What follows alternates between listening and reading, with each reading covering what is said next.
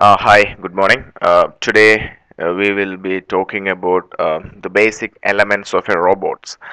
Uh, as you all know, robots are very relevant in today's uh, technology. Many variety of jobs have been carried out with the help of robots, and robotics is a current field which is one of the most fastest growing so let's see what are the basic uh, elements uh, required uh, for a robot in an engineering perspective.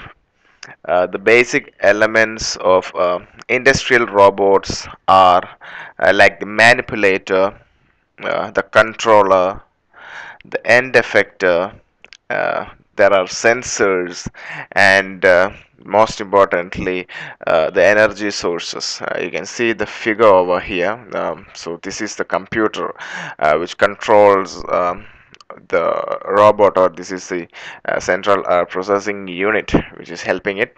Um, this is the manipulator and this is the arm over here and there is electro hydraulic power supply uh, unit uh, installed here.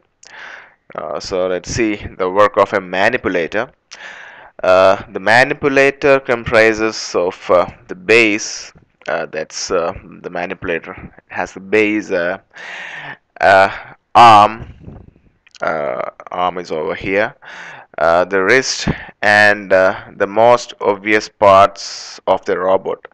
Uh, the robot's um, movements are executed by the mechanical parts like links, power joints and uh, transmission system along with internal sensors um, housing within the manipulator.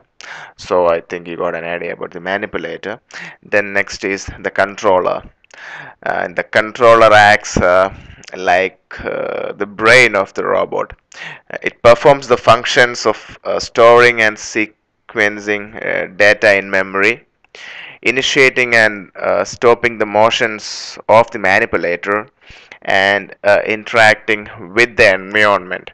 So that's what the controller or the brain is helping the robot to do and the end effector uh, is the tool uh, a, sort of a gripper or like a hand or something uh, which directly interacts with the job which is uh, helping uh, to hold a job uh, or to drill a job whatever it has to do.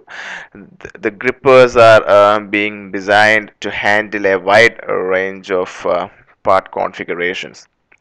And uh, next we have the sensors uh, sensors are used to sense the environments uh, environment and the essential uh, for intelligent robots uh, the essential requirements uh, according to the environment and other movements interacting with the robots or happening with the robots. Uh, this is like a sixth sense unit. The sensors identifies the basic requirements uh, the robot need to look into when it acts. So environment is a part of uh, its work culture and its work nature. So other interactions or systems uh, coinciding with its work has to be identified and the sensor should work according uh, to the requirement of the job and the environment.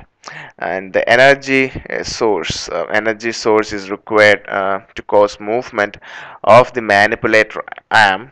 Uh, they may take uh, from the electrical uh, power hydraulic or pneumatic drives which provides the drive to the robot. So uh, this manipulator controller end effector sensor and the energy source are the main elements of a robot. So I got I think you got an idea basic idea about the basic elements of a robot. And for more technical related videos you can visit my blog over here techtrixinfo.com or my youtube channel uh, www.youtube.com uh, thanks for listening